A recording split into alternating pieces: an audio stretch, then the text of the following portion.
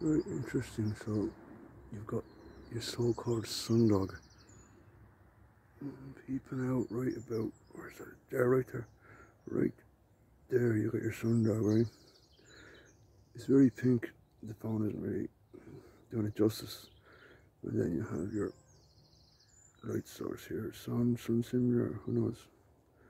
But you've got your sundog hidden right over there. Sundog, sundog. I don't that crap whatsoever. Dog is God spelled backwards, isn't it?